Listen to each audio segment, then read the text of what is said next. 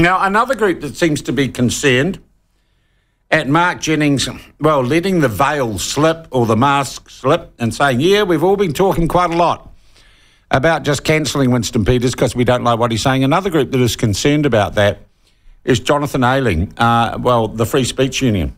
And he joins us now. Jonathan, uh, good morning. Thank you for joining us once more. Good morning, Sean. How are you? Uh, very well. Look, the more I thought about what Mark Jennings said in a taxpayer funded podcast on a government radio channel, which was produced by his company, which received more than $2 million in government funding. The more I've thought about this, the more chilled I am by it. Are you?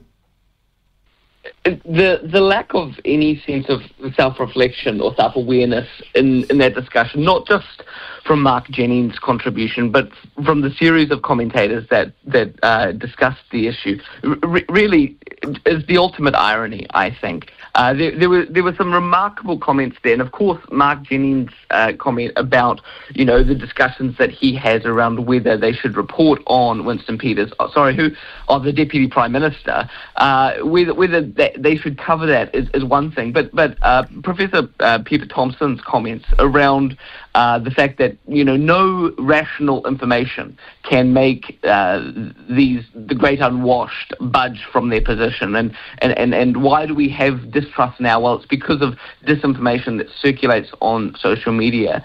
It, it, it, it is the most classist, elitist, condescending comments I, I, I think um, I've encountered here in New Zealand. And, and Sean, as you know, my parents are Kiwis. I was born in New Zealand, but I grew up overseas. And I always had this reflection on New Zealand of what an egalitarian society it was and, and, and the way it avoided uh, the, the class structures and the condescension that exists in so many other countries. And, and yet I, I think that must be changing here now because you listen to these comments and just the the the disdainful view it has for the common man. Uh, really, if if this podcast is talking all about woman, the all woman, to, Stan, humanity. Let's say that Kiwis. Uh, the the uh, the the way this views the average citizens. Uh, that is the real threat to democracy, I think. Yeah, look, and also, uh, you know, I was reflecting on Newsroom's kind of attempted hit job on the platform yesterday. Amazed journalistically that they got a former staffer from the Labour Leader's Office to write it with very little journalistic experience. Um, and his, the whole premise of his piece was A, that you had to define media by being left wing or right wing, and B, that the problem with the platform, what was so problematic about the platform was we couldn't be cancelled which suggests these people have a philosophy that what you do with ideas you don't like, you cancel or you silence them.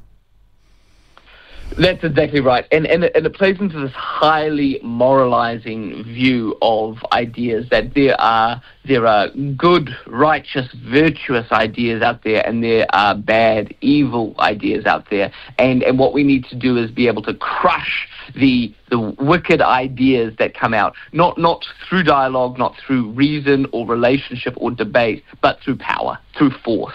Mm. And and and it, it, it, it, it's quite a it, it's quite a uh, frightening way of viewing the world actually. And and and it, it, it maybe it shouldn't surprise us so much, Sean. I mean, in reality, this is the way societies have structured themselves for most of humanity. But but what uh, the West, what the Enlightenment, what values like free speech have done for us over the past 500 years or so has led to the greatest period of human stability and prosperity and peace. And so we've actually come to take a lot of uh, a lot of that for granted. And and this needs to be a wake up call now. We either we either have a wake up call now in terms of the discussions that we have and, and reflection on the alternatives. Otherwise, we'll have to experience. But them. the mainstream but, media are not covering the story, Jonathan.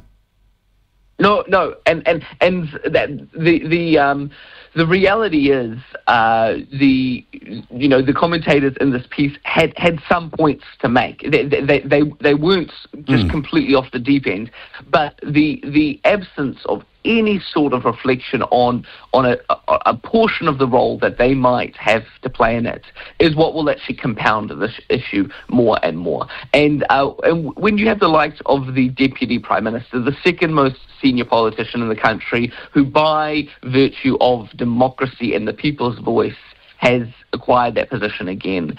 Uh, I I don't think the media are going to win this one. Actually, Sean, I, I I realise that they have quite a lot of power in their hands, and they're they're not pushing in the direction of letting all Kiwis have a voice and letting Kiwis make up their mo- own minds.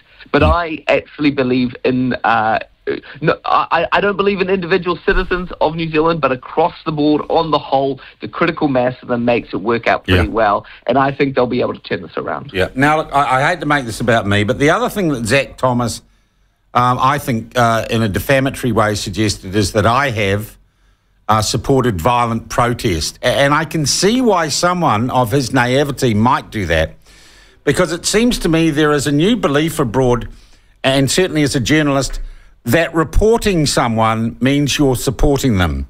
That if you interview someone, you agree with them. And I guess if you come from the cancel culture, anti free speech thing, just talking to someone is support. And I've never seen it that way, Jonathan.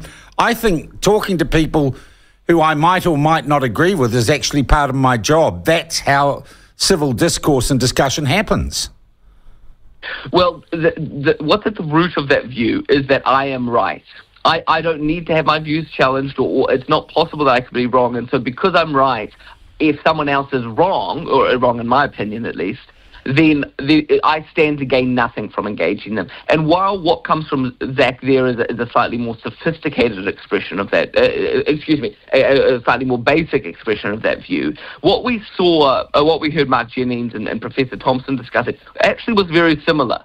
Um, would, would, would uh, reporting on, on Peters actually actually not compromise us and, and, and, and our our sacred role in the in this whole system as well. Uh, I, I don't see how society avoids retreating into tribal structures if this is the way we're going to do it now. And and Sean, that that's why uh, I think.